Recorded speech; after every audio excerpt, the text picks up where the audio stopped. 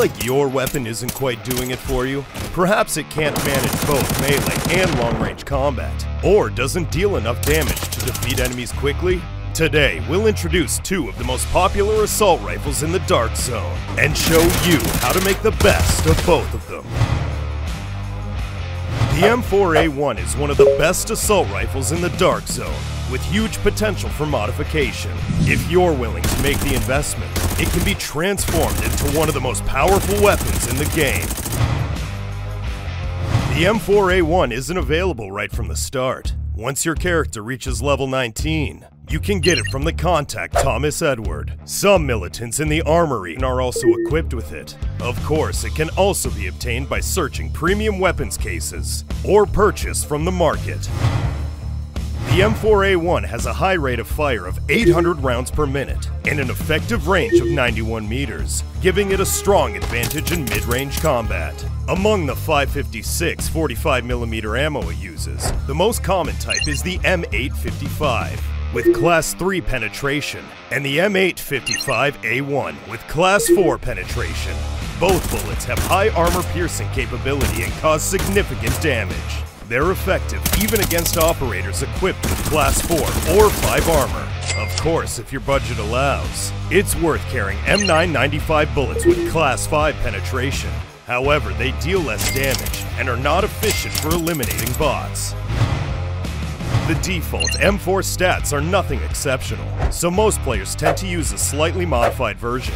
For example, the default stock can be replaced with a lightweight carbine variant. Swap out the handguard for one compatible with the front grip. Lose the basic sights for any one-time scope, and add a suppressor or flash suppressing muzzle, depending on personal preference. Once modified in this way, the M4A1 performs well in mid-range, and the overall investment isn't too high. If you've got the coin, consider combining a 4 times holographic and triangle reflex sight, installing a special AR handguard with a tilted front grip or a lightweight vertical front grip, and combining the best AR extended tube, carbine industrial stock, and carbine recoil pad that you can.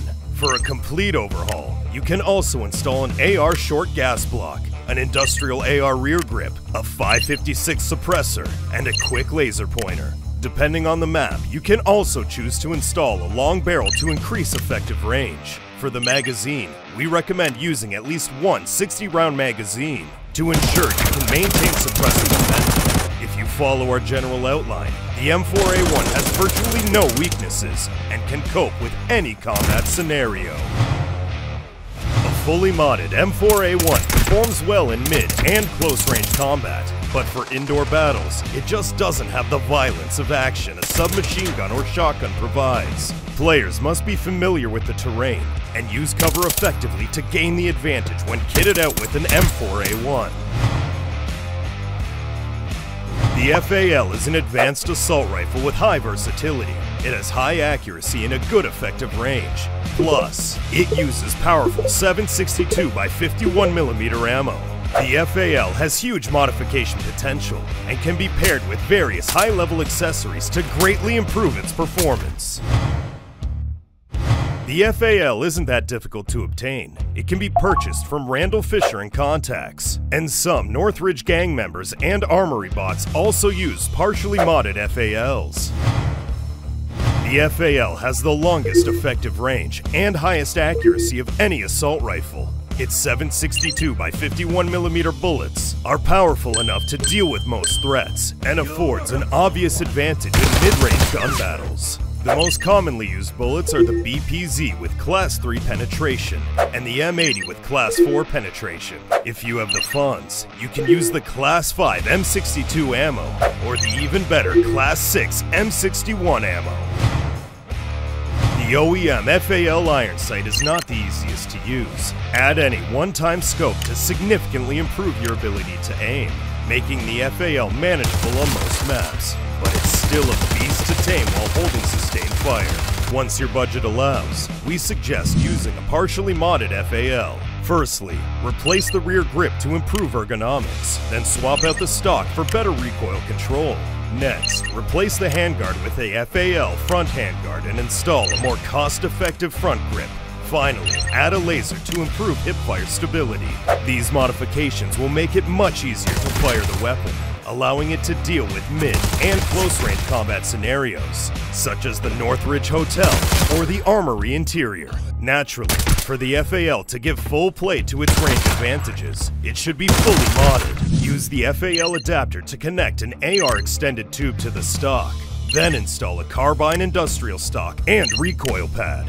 Use a lightweight front grip and a green laser. Then fit the muzzle with the flash suppressor adapter and a 762 lightweight suppressor. Finally, combine a 4 times holographic and triangle reflex sight to hone the FAL for long range combat. Some even choose to replace the handguard once the FAL is fully modded and adapt its short barrel. This sacrifices range and accuracy, but improves flexibility.